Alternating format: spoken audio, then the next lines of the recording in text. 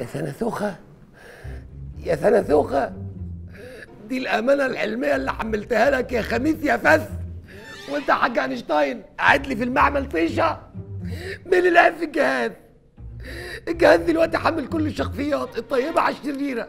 يعني سهام دلوقتي هيبقى مخها عامل زي متحف الشمع. يا منجم المهالك يا رب مين اللي لعب في الجهاز قولوا لي آني ما عملتش حاجة يا سعاده البروفرس إيه؟ هو إيه يعني اللي حصل. اللي حصل؟ اللي حصل إن أنا كنت عامل الجهاز يحمل الشخصيات الكويسة والإيجابية بس. دلوقتي بقى اتلخبط أبو قرش على أبو قرشين. هو أنا كنت علمي آه بس مش فاهم أي حاجة. عشان فصل. عشان ذكائك مضمحل. أنا كنت عامل الشريحة دي أحمل عليها الشخصيات الكويسه بس اللخبطة اللي حصلت دلوقتي اتحملت كل الشخصيات. شرير على كويس.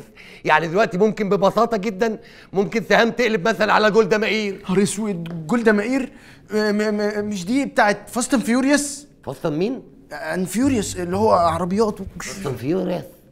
Fast Furious يا فصل. يا أبو ذكاء مضمحل. جولدا مائير دي اللي كانت بتحكم اليهود من 67 ل 73 وبعدين بتكره المصريين. عمى عمى. يا لهوي. ده إحنا كده هنتبقلش بقلشة جماعية. إيه آه صحيح. الولية اللي اسمها جولدا زائر ديا ماشياها مش ولا بد ولا مؤاخذة كده يعني. والعياذ بالله الناس كلها بتتكلم عليها. جولدا زئير ومشيها مش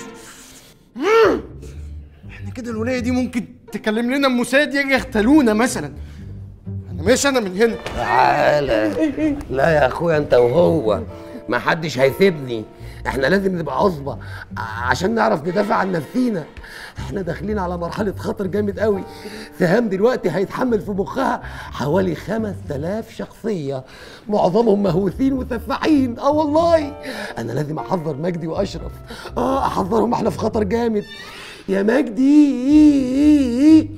يا أشرف. هما كده ممكن يسمعوني؟